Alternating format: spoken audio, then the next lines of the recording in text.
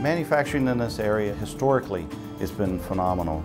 All the way back when Colonel Drake discovered oil. We know fossil fuels, we know coal, we know oil and gas.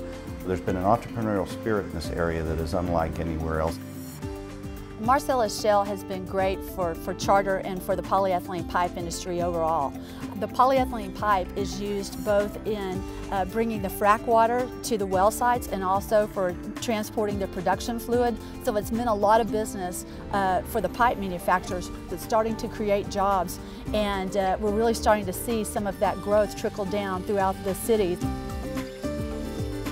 We're extremely excited about the shale plays and we're continuing to do our marketing towards is showing those companies you can come here and there is some very, very low cost natural resources that makes you extremely competitive in the global market.